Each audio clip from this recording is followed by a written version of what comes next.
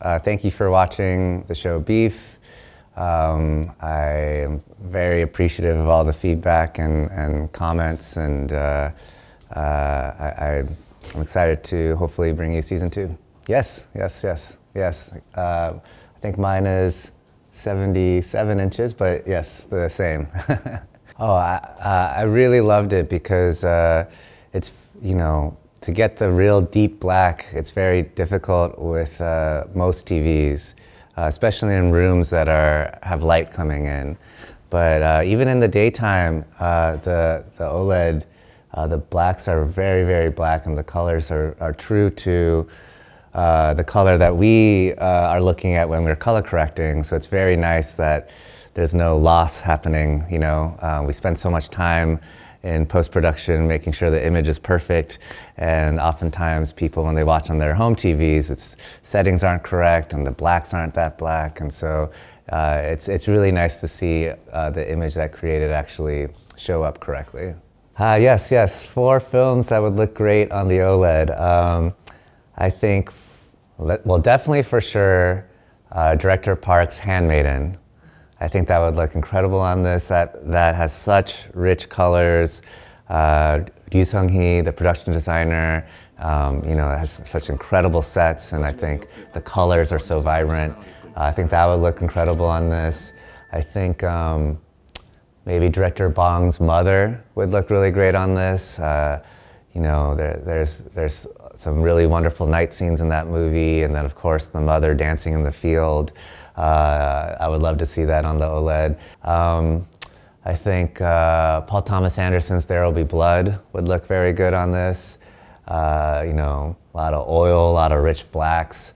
Uh, and, um, and I think uh, Ari Aster's Midsommar will look very, very good on this because that movie actually has very little darkness. It's such a very bright um, movie, but he does such an incredible job of creating tension and horror in a bright environment. And I think with the contrast on, on the OLED, uh, um, that, that movie would look incredible.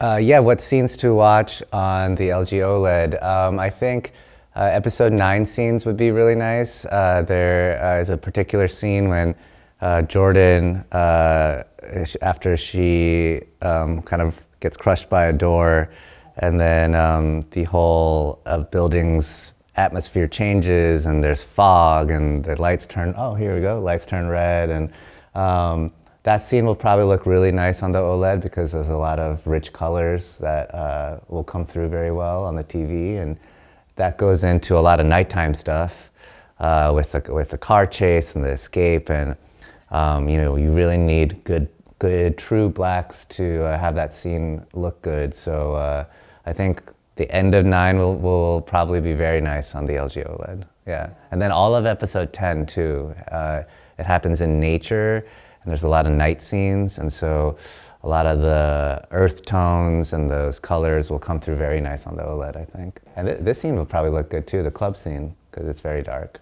Yeah, very good colors. The, the show is, uh, you know, loosely inspired by a road rage that happened to me, uh, but you know, uh, when I was experiencing it, uh, it was kind of funny because, uh, you know, I think cars are, you know, literal bubbles that we're all moving around in, and um, we don't know what's going on in someone else's bubble, and we always project and pretend to know. And so I thought that was a very um, interesting, um, you know, microcosm for life in general. And so, uh, yeah, and so that's why I sort of wanted to use road rage as the inciting incident.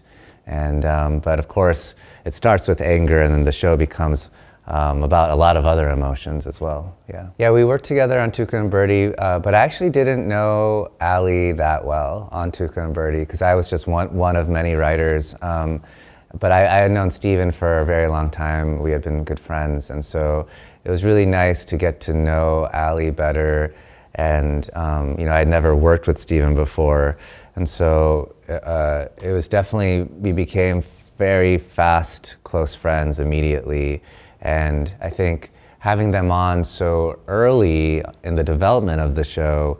Uh, you know, they were on as executive producers even before we sold it to Netflix, and so I think that allows me as a writer to really craft the characters specifically for them. And um, I think that's why it, the characters fit so well for them is that we constantly talked and we constantly collaborated and um, it wasn't like me just alone writing and then I just hand it to them. They a lot of back and forth ideas, and so I think that's really what makes these characters um, kind of have a little bit more spark to them is uh, our collaboration. So uh, it was very rare and very um, you know special uh, that uh, I know. Uh, on so many shows, this doesn't happen, and so I'm very, very grateful for, for our friendship. Yeah. Ah, the meaning of her smile. Um, you know, I, I think we, we really wanted to show uh, two people who um, don't have purpose in life and they are very lost inside. And I think um, this incident and, and this uh, person that she can now put all of her focus on gives her actually uh, a, a, sense of purpose that she was missing and is actually somehow um, uh, almost a happy, joyful experience. You know, even when they're running away and they're coming out of the house and she's running after him, they're laughing and smiling almost like they're, they're kids playing like a tag or something. And so, you know, I think uh, sometimes in life, uh, even the most uh, darker or, or tragic things can sometimes inspire uh, um, purpose and meaning and so uh, that's, that's what we wanted to show through that smile. You know, I, I don't even know that I was doing it intentionally. Um, you know, I, I, I, I, wanted to have crows as a symbol, um, and then the witch was sort of based on uh, a lot of children's books that I had read growing up. And I guess just naturally, we, a lot of these symbols seem to have black in it. um, so it, it it, uh, it definitely wasn't as intentional as I thought it was going to be, but I was just picking things that from my life that, uh, you know, uh, I sort of resonate with in terms of um, whether it be the witch or the crows or the void or the ground. Um, and I guess for some reason, all those things in life are black. um, but, uh, you know, I think the feeling, the feeling that both characters are struggling with inside, you know, a lot of people call that feeling the void. Uh, and so this emptiness. And I think, um, you know, uh, black in the absence of light definitely uh, uh captures that very well.